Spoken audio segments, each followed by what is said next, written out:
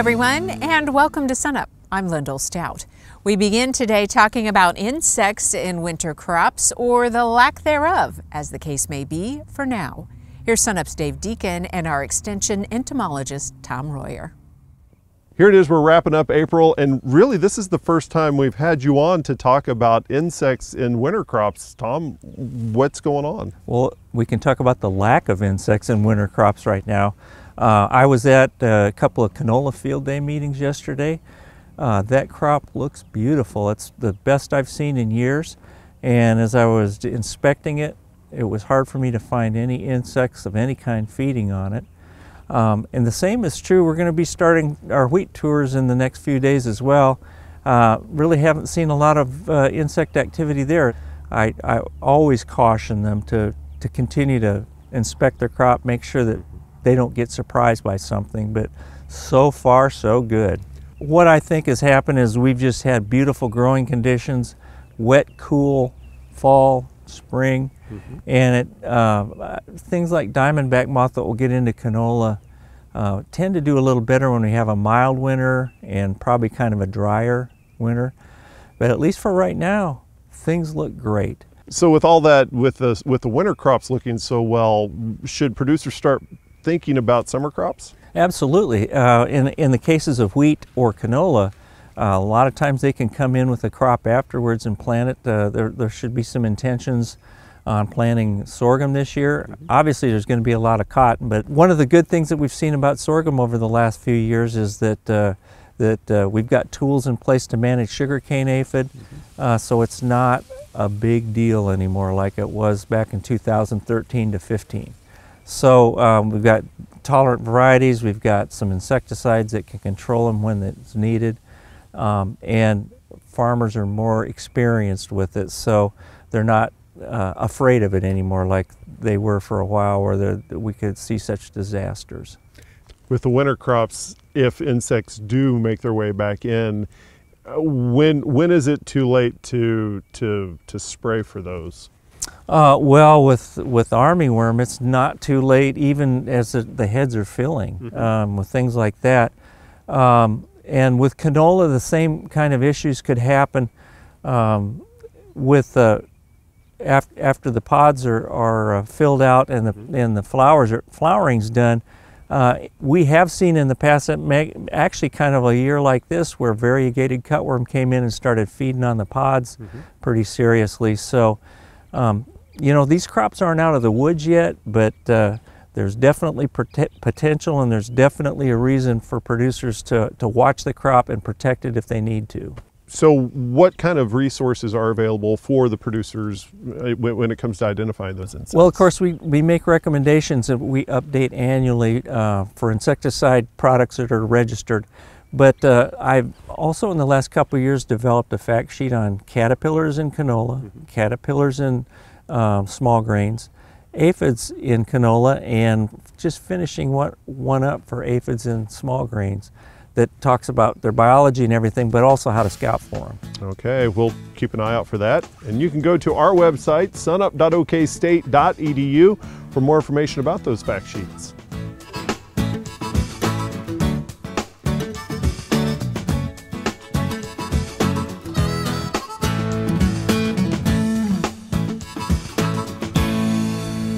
County now, where we stopped along with producers on the canola field tour to learn more about Oklahoma's most colorful crop. So this this is uh, one of my farms. We're having a, a, canola field day here. This is variety trial and uh, experimental trial for Kansas State Breeding Program as well as the Oklahoma State University Variety Trials. I've partnered with both organizations for, for years to have variety trials out on my land so that we can test and see what varieties work in different areas of the state. We have some excellent variety plots to look at this year, and that goes to say with the same with the canola crop itself in the southern Great Plains. Uh, it's been an excellent year. It's been a few years since we came out of winter with this good of moisture that really let that canola crop get off and going. The biggest downside to canola this year is that we just didn't have the acres that we intended for at planting time. So with the winter canola field tours, it's an excellent uh, venue for canola producers or producers just thinking about growing canola.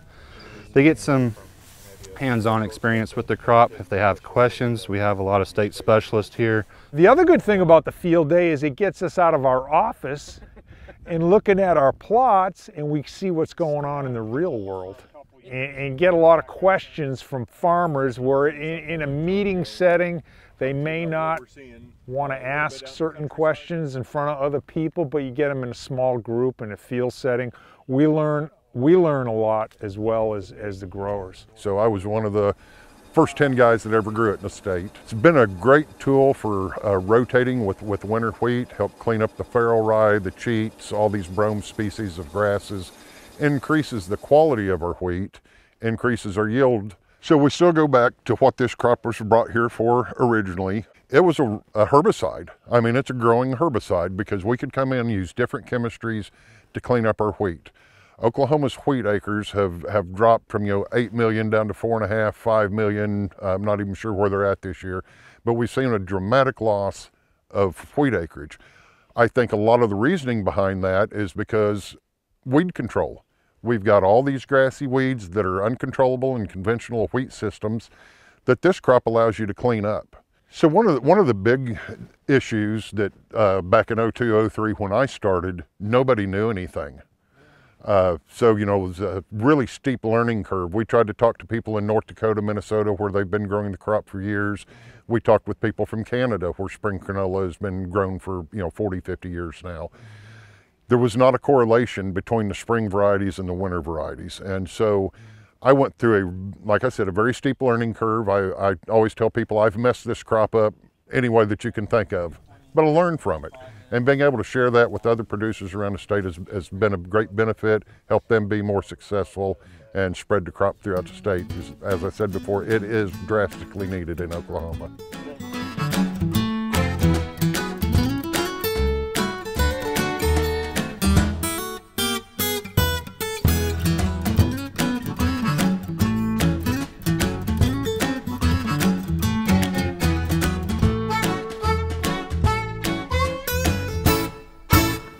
Wes Lee with your weekly Mesonet weather report. We continue to be blessed with rainfall this calendar year. In fact, if we look at the statewide cumulative rainfall since the first of the year, shown here by the dark line, and compare it to the long term average represented in the blue fill area, we see the state as a whole continues its four month run ahead of schedule. Rain this week dropped measurable amounts statewide and a whopping 5.8 inches at Hobart. Following closely behind was Mangum with 4.6 inches of rain. Turning now to soil moisture, we see this week's rain made a marketable improvement at a few locations, but is worsening quickly in the panhandle. The 4 inch fractional water index on April the 17th showed dry soil conditions in Kay and Texas counties, along with slightly dry conditions near Altus and in the northwest. A week later, on April the 24th, the 4 inch soil moisture is reading full at Altus and most of the northwest counties. It is also much improved in the north central region. However, the panhandle has lost soil moisture over the week due to limited rain and high winds. The National Weather Service forecast for the first week of May shows the wet streak is likely to continue with above average chances of rain. Gary will now tell us more about longer term rainfall patterns. Thanks, Wes, and good morning, everyone. Well, I don't have a U.S. drought monitor map to show you because we don't have drought in the state. We don't even have abnormally dry conditions, but that doesn't mean we're out of the woods just yet. Let's take a look at the Mesonet rainfall maps and see where we might be in a little bit of trouble. Now, as Wes showed you, we did get a pretty timely rainfall up across uh, north central Oklahoma. Uh, that alleviated some of our concerns for that area, even though if you look at the last 30 days, we do see that area still about 50% uh, below normal. Um, but that rainfall we had this week did stop our concerns there for at least a week or two. Now, the panhandle, however, it's getting pretty dry. We see in the uh, percent of normal rainfall map that they are less than 25% of normal in some areas and less than a third percent of normal in all areas. Uh, and we again we see those dry areas as we go over to north central and northeastern Oklahoma. Uh, those are our problem areas, and those are the areas that need rainfall. Now, the saving grace for the panhandle is some of the previous moisture they received. If we go to the growing season to date, the growing season starts on March 1st, we see the panhandle, at least some of it is above normal. So they do have some reserves of moisture. Uh, of course, they do need more. But then if you go over to northeastern Oklahoma, north central Oklahoma, centered around Osage County, that's an area that continues with those deficits. Again, the, the, the, timely moisture this past week did help in that area. We were going to ask for abnormally dry conditions on the drought monitor map, but that alleviated those concerns, at least for this week and maybe a couple of weeks. Those areas will need some rainfall in the next couple of weeks to stop from being labeled on the drought monitor map. So let's hope we get some moisture in here in those select areas. That's it for this time. We'll see you next time on the Mesonet Weather Report. Kim Anderson, our crop marketing specialist, joins us now. Kim, you look just a little bit different than the last time we saw you. Yeah, I've really enjoyed this left arm for uh, most of my life, and I've used it well, and I guess I used it up. The good news is, is that with today's medical uh, technology, they fixed it. You give me another six months, I'm going to be back and good as new. That's great to hear. We're glad you're on the mend. Well, let's talk about grain prices. They continue to decline, and harvest forward contract prices are now below $4. Let's talk about what's going on. Well, I'd say grain prices is kind of like this shoulder. They're in the tank right now, but I think there's some potential ahead. Uh, you go back to February, you could forward contract wheat in Oklahoma for de harvest delivery for $4.90. Uh, this week it was below $4, $3.97, down in the mid 3 395s there. Uh, you look at Russia, you, you go back to February, you know, we were talking about they were going to run out of wheat for exports. They're still exporting wheat. We talked about their uh, production for the uh, 1920 uh, marketing year was probably going to be around 2.5 billion bushels. Well, they're still shipping wheat. Uh, you look at their production, it's up to around uh, 2.8, uh, yeah, 2.85 billion bushels. I, I, mean, the way the weather's going in the Soviet Union, the way their crop looks, uh, we may be, and I think the market's anticipating or fear of a 3.1 billion bushel crop, another one of those. You look at the value of the dollar on the market, back in February, uh, 94.8, now it's 97.8, so that makes our wheat uh, more expensive. Uh, it came out this week. Iraq's production is, going, is projected to be higher. They'll import less. I mean, you can just go around the world and the importers' uh, crops look good. You know, we've talked about competition exporting out of Romania, out of, out of Pakistan, and other countries like that.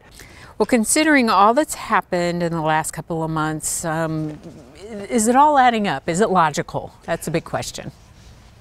Yes and no. The, the big deal is the market has changed. We got the black, the, the impact of the Black Sea, of Russia, Ukraine, the, the impact of increased production in what we used to call the third world or your importing countries, increased production in Pakistan, India, you know, record crop in India, they'll probably be exporting. The market has changed. And so those numbers do add up. However, they don't add up a minus a dollar on our crop. There, I think there's just more going on. And a problem, what may be going on there is that we're expecting a big crop. The producers and, and the merchandisers tell me they think test weight's going to be good. I think the market may be concerned about our protein as we come into harvest. I think possibly protein may be another key as we come in. If we got that 12.5 protein, I think that price may end up uh, increase because we got to have the 12.5 to export it next year. If we don't have protein, then prices will probably stay where they are. Okay, Kim, thanks a lot. We'll see you next time.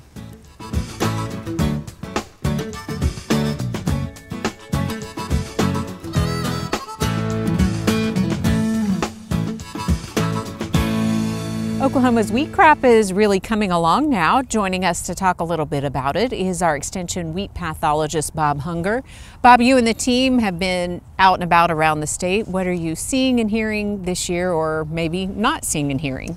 Yeah, I think the, the not seeing, not hearing is the, the first part I'd like to talk about because uh, uh, by this time, the last several years, uh, wheat streak mosaic virus had, had been a, a big disease that uh, had been hitting across the state. And to date, uh, we've gotten a number of samples in the lab, but only one of them has been positive for wheat streak. And there's been far, far fewer samples, uh, Last year, I think it was in the 80s somewhere that we had the last couple years.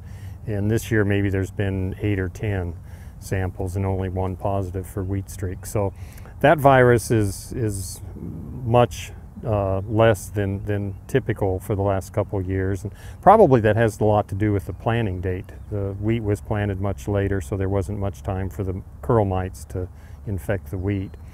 Barley yellow dwarf, kind of the same thing. We are starting to see some spots of barley yellow dwarf scattered around in fields, and there are some reports of aphids, but uh, that has been less too, and that's probably been a spring infestation of aphids. So uh, much not going to be near as damaging as it could be. What are we seeing or again not seeing in terms of rust this year? Well, the foliar diseases have been a little bit of an enigma this year. Uh, starting with powdery mildew, I would have expected there to be a lot of powdery mildew across the state, and there's been very little of that. Uh, we have found it. It's not totally absent, but it's not been a, a factor at all uh, as it sometimes can be, and we've had the right weather for it, but it just hasn't been there. Early in the season, uh, far southern Texas, there was uh, quite a bit of leaf rust in particular, but also some stripe rust. Uh, but after reports coming in March and maybe very early April, uh, I have not gotten any reports from Texas about rust continuing to move north across Texas. So I'm thinking maybe for whatever the reasons, it seems to me they've had fairly wet weather down there as well, but the inoculum's maybe just not as high a level as it has been in other years. And then what uh, uh, is a bit more puzzling is that this last week there was a report from Kansas, not in that first tier of counties across the Oklahoma-Kansas border, but in the second tier of counties, they've uh, found fairly widespread uh, leaf rust and stripe rust in those counties. Not extremely heavy, but it has been found there. Last but not least, you and, and our extension and research colleagues are, are doing a lot of traveling this time of year with field days, so those are coming up, right? Yeah, the field days got started uh, this week, and then next week they take off in a big way through through the months of May, uh, through the month of May, especially uh, early parts, but really for the whole month. And I know we all look forward to those. Well, Bob, good talking to you, and we'll see you again soon. Thanks a lot. And for a link to all the upcoming field days, just go to sunup.okstate.edu.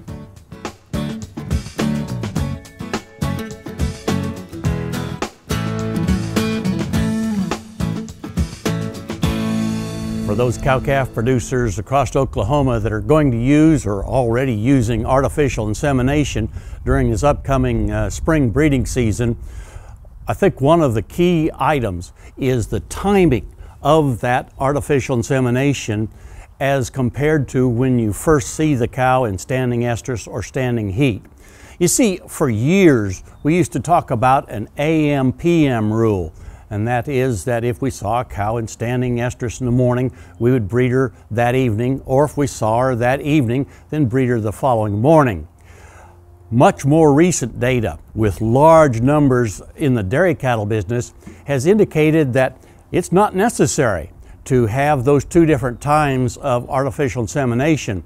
That we can, if we see the cow first in heat in the morning, we can breed her the following morning or if we see her in the evening, we can again breed her in the following morning, doing all of our artificial insemination in the morning. Another key reason why I think that's so important is here in Oklahoma, as we get into May and June and start to get into those warmer summer days, that being able to do artificial insemination in the cooler times of the day is important in terms of increasing the percentage of these cattle that we actually get pregnant to artificial insemination. Data done here at OSU and published back in 2011 shows us that during the course of the day, as the uh, hours uh, go into late afternoon and the temperatures rise, that it's actually two to five hours after the peak of outside temperature that the uh, body temperature of these cattle reaches their peak. So, if we've got a hot afternoon, say at four or five o'clock in the afternoon, the peak of the body temperature of the cow may be in the early evening to around 10 o'clock. That tells me that we want to avoid those times to do our artificial insemination. Because elevated body temperature will have an adverse effect on fertility. So again, I think what we want to do during this upcoming breeding season or any breeding season is to do AI in the morning hours if at all possible. So if we see her in heat this morning, let's wait until tomorrow morning when that cow has a chance to have her body temperature back down to in a more normal range when we actually do insemination. I think we'll have a higher uh, breeding percentage and more success with our AI program. Hey, we look forward to visiting with you again next week on Sunup's Cow-Calf Corner. The April Cattle on Feed report came out just a couple days ago. And, and Derrell, were there any big surprises in the report? Not too big of surprises, although the, the uh, placements for March came in a little bit bigger than expected, about 4.8% higher than last year. Um, marketings for the month of March were down about 3.4%. Uh, however, we have to keep in mind that the, uh, this March had one less business day compared to a year ago. So on a daily average basis, they were actually slightly higher than last year.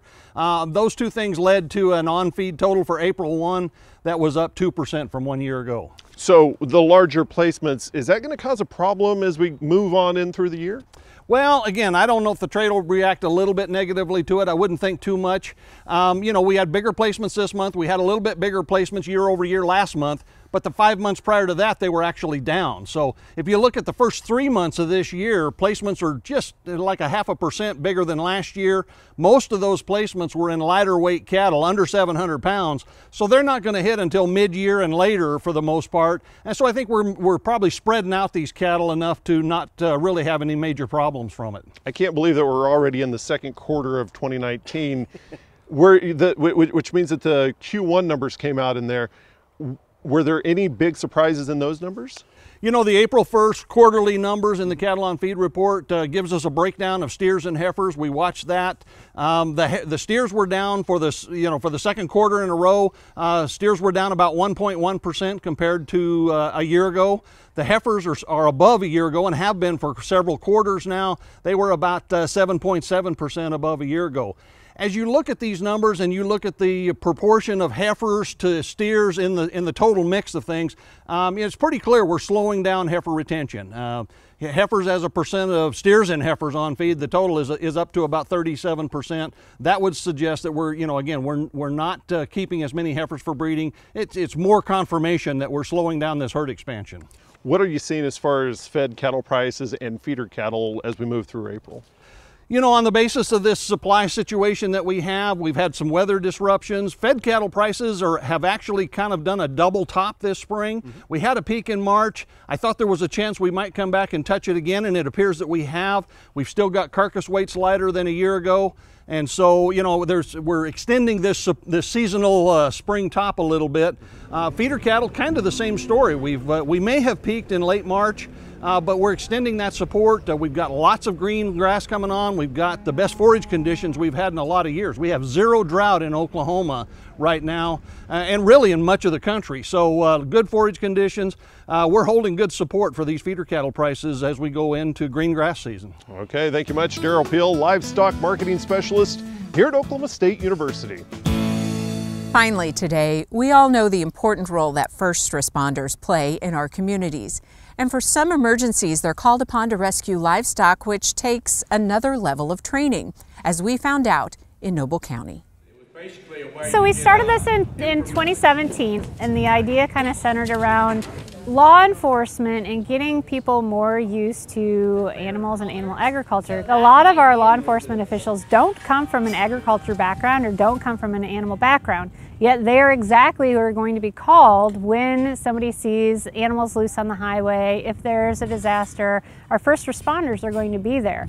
But we can't just assume that they have the skill set to handle the animals safely um, and take you know consideration of their behavior into account. Um, and again, it's directed towards cattle and equine because of Oklahoma. We're a big horse and cattle state, uh, and that's our goal. Is really just to help people that don't have that ag background but are going to be involved. And even for our volunteers through Oklahoma Medical Reserve Corps, people that care about animals and want to help um, during these situations, well, they need to be properly trained and how to do things safely and effectively.